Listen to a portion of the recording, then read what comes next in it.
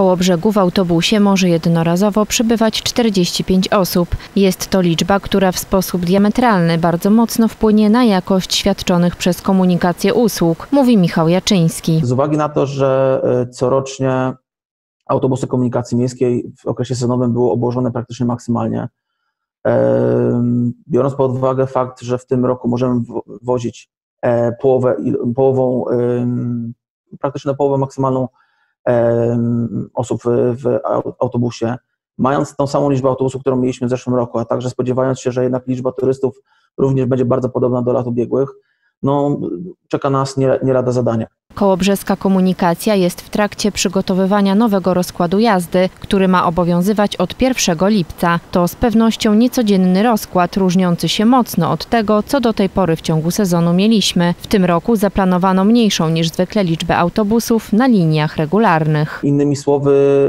y, obsługiwać y, stale y, miasto będzie mniej autobusów niż to było rok, dwa, trzy lata wcześniej. Mm, Dlaczego tak zrobiliśmy? Zrobiliśmy tak głównie dlatego, aby wygospodarować sobie jak największą e, część taboru, jak największą liczbę autobusów ku temu, aby w sytuacji, kiedy będziemy zostawiać e, mieszkańców, turystów na przystankach autobusowych, a taka sytuacja będzie niestety się zdarzać, e, nie będziemy w stanie po prostu zabierać wszelkich zainteresowanych skorzystaniem z naszych autobusów osób.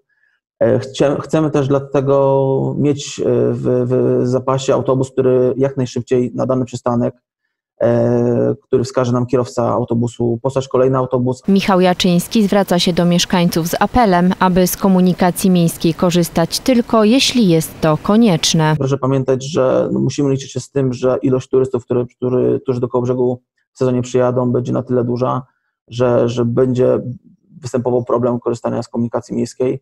Mieliśmy tę, tą sytuację już w czasie takiej zaawansowanej pandemii, kiedy mogliśmy wozić maksymalnie 15 osób i bardzo często zdarzało się tak, że po prostu osoby, które korzystały z komunikacji, tak naprawdę e, robiły to głównie, chodzi o osoby młode, głównie z braku, braku innych, innych rzeczy do, innych czynności i, i często zdarzało się tak, że osoby, które chciały dojechać do szpitali, do lekarzy, nie mogły z tej komunikacji korzystać. Dlatego tutaj gorąca prośba, aby naprawdę ograniczyli Państwo e, transport, komunikację miejską do niezbędnego minimum. Z dniem 1 lipca wraca także możliwość zakupienia biletów u kierowców. Jest to niezwykle ważne i moim zdaniem tutaj niezbędne ku temu, aby jakość usług w okresie sezonowym zapewnić na, na odpowiednim poziomie, także od 1 lipca kierowcy znowu e, będą sprzedawać w autobusach bilety. Proszę jednak pamiętać o tym, że niezbędne jest e, noszenie w autobusie maseczek.